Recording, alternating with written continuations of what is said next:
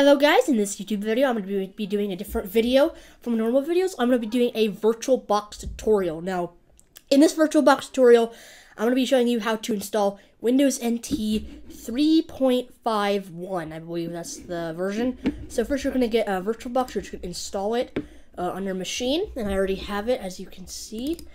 So the first uh, thing you want to do is download the uh, uh, the discs and ISO in the description. Uh, it was provided by Everything EPAN. Uh, so go subscribe to him. So you're gonna click on new and name it whatever you want. I'm gonna call it Windows NT 3.51. Just leave, uh, actually put the version as Windows 3.1 because there's no Windows NT uh, 3.51. So click on continue.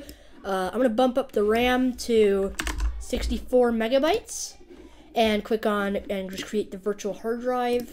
Go to fixed size and uh, and uh, you're gonna want to save it in a machine folder. Oh, I'm just gonna save it in here. So just click on save. Uh, you can save this wherever you want. This is where your virtual machine uh, hard drive will be saved. Make sure you create a folder. So if you have lots of virtual machines like I do, so you don't wipe out any of your other virtual machines. So click on settings, click on storage, click on the uh, empty floppy, I believe, and then uh, insert disk one and go to empty uh, ISO and enter in the Windows NT 3.51 ISO file. Click on OK and click on Start. And I'm just going to go in full screen here. So it says uh, you should enter in disk number two. So uh, go find that in the floppy controller, press enter, and it will load up here. All right, and once you're in here, click on enter uh, click on enter for the express setup. And now it wants disk number three. All right, now click enter once you've entered in disk number three and it will load up here. All right, so it should be looking for the CD-ROM driver that should be happening right now. So it says found the CD-ROM driver and just wait for it to load here. Um, click on enter once you see this message.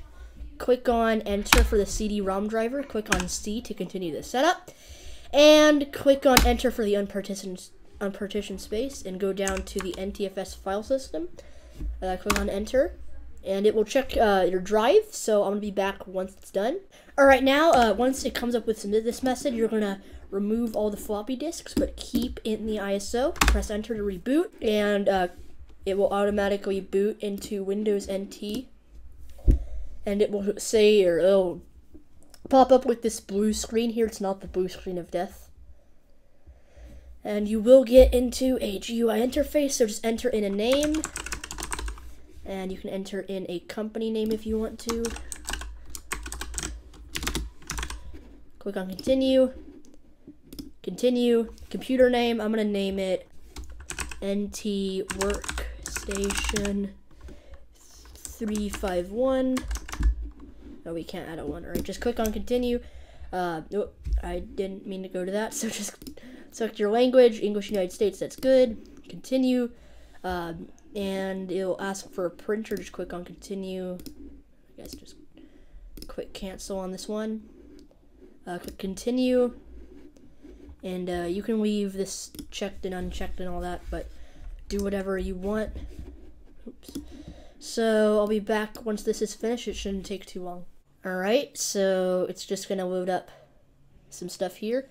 And here, click on cancel here. And click on yes. Okay. And click on no. And you'll want to enter in a work group. Just leave it at work group. That's good. And okay, so you can enter in a password if you want. I don't want to, so just click on continue. Uh, click on OK. Now you're going to enter in a username. Continue. And leave it on MS-DOS editor. And here's where you can change the time. Uh, you can change your time zone here, so I'm just going to leave that.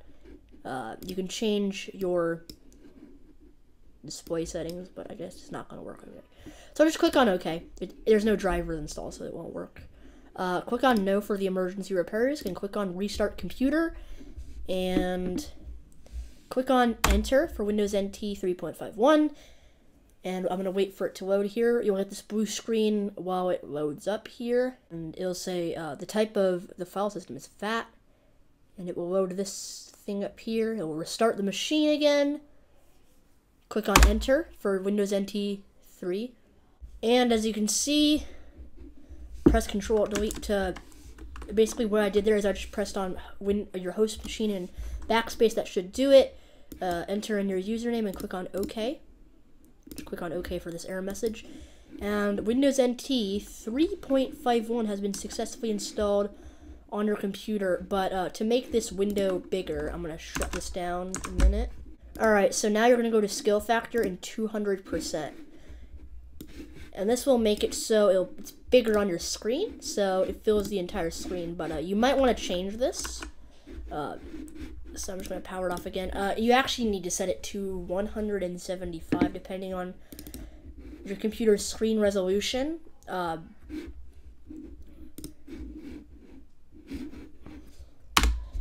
so I'm just going to boot this here, and I'm going to change the scaling size to 175%. And I'm to go to full screen, and now you have successfully installed Windows NT and it is the correct screen size. And there you go. So hope you guys enjoyed the tutorial on how to install Windows NT 3.5 on a VirtualBox. And I'll see you guys later. Bye.